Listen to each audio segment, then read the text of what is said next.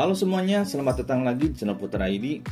Oke, jadi di video kali ini saya bakal bahas 5 alasan kenapa harus membeli Realme Narzo 20 Pro dibanding rivalnya yaitu Xiaomi Poco X3 NFC. Yang di mana di kedua HP ini menurut saya memang lagi banyak menyita perhatian kaum pencinta gadget termasuk saya. Nah, kedua HP ini bisa dibilang pembunuh harga HP di kelas menengah Ya kalau dari Realme Narzo 20 Pro bisa dibilang ini membunuh harga kakaknya yaitu Realme 6 Pro. Kalau dari Poco X3 NFC bisa dibilang membunuh Redmi Note 9 Pro. Loh bagaimana bisa?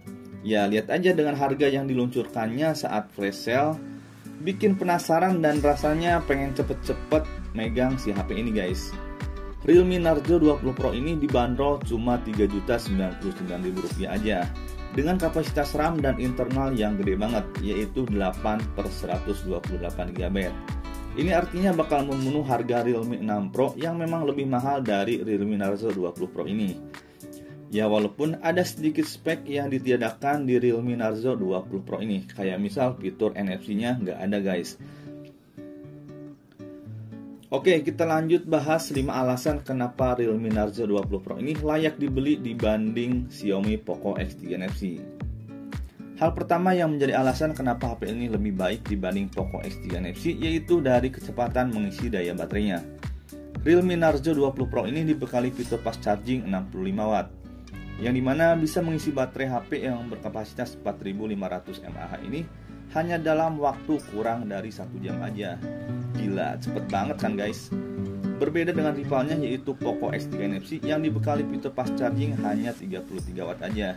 Yang di mana untuk mengisi baterai yang berkapasitas 5160 mAh dari 0 sampai 100% membutuhkan waktu 1 jam lebih 15 menitan. So itu artinya dalam urusan kecepatan pengisian baterai, Realme Narzo 20 Pro ini lebih unggul ya, sehingga ini menjadi salah satu alasan kenapa kalian harus memilih Realme Narzo 20 Pro ini dibanding Xiaomi Poco S3 NFC. Nah, hal kedua yang menjadi pilihan kenapa Realme Narzo 20 Pro ini lebih baik dari Poco X3 NFC yaitu dari refresh rate yang masih menggunakan 90Hz. Entah ini menjadi salah satu kelebihan atau kekurangan ya, tapi menurut saya ini salah satu yang perlu dipertimbangkan buat kalian. Dengan refresh rate 90Hz itu artinya beban kerja layar dalam menjalankan kerjanya baik dalam multitasking ataupun dalam menampilkan visual bakal tidak sewah 120Hz. Nah, itu artinya kedaya tahan baterai bakal lebih awet juga, guys. Karena saya bandingkan baterai 4500 mAh dari Realme Narzo 20 Pro ini malah terasa lebih awetnya dibandingkan Poco X3 NFC yang baterainya lebih besar yaitu 5160 mAh. So itu alasan kedua kenapa Realme Narzo 20 Pro ini lebih baik dari Poco X3 NFC. Ya walaupun di Poco X3 NFC itu refresh rate-nya bisa dirubah ke 60 Hz, tapi yang saya rasakan nggak sesemut 90 Hz-nya yang di Realme Narzo 20 Pro. Lanjut hal ketiga yang menjadi pertimbangan kenapa Realme Narzo 20 Pro ini lebih baik dari Xiaomi Poco X3 NFC yaitu dari fitur kamera depannya yang beresolusi 20 megapiksel yang di mana lebih besar sedikit resolusinya dari Xiaomi Poco X3 NFC yang hanya 16 megapiksel. Ya ini kembali ke diri kalian masing-masing juga ya. Apa ini menjadi hal pertimbangan besar buat kalian untuk beli HP ini atau enggak?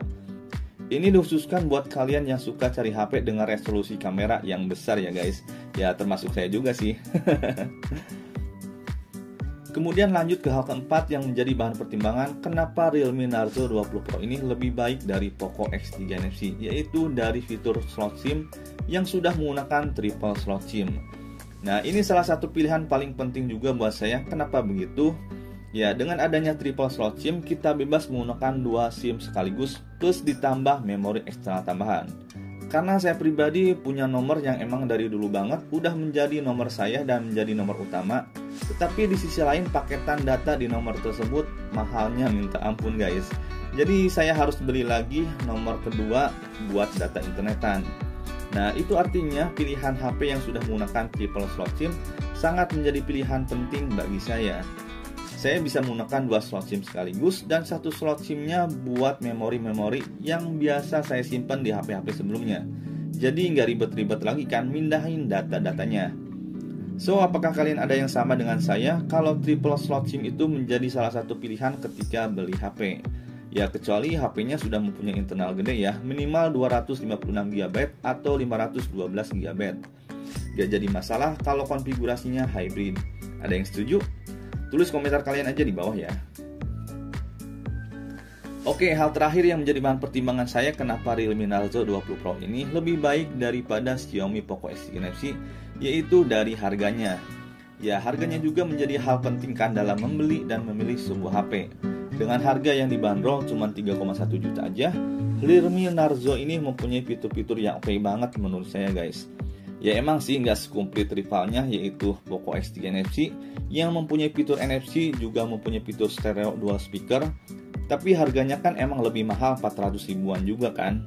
Poco S3 NFC dibanderol 3,5 jutaan. Ya itu pun kalau kalian dapat dari flash sale ya guys. Kalau enggak sih bisa lebih mahal juga dapatnya.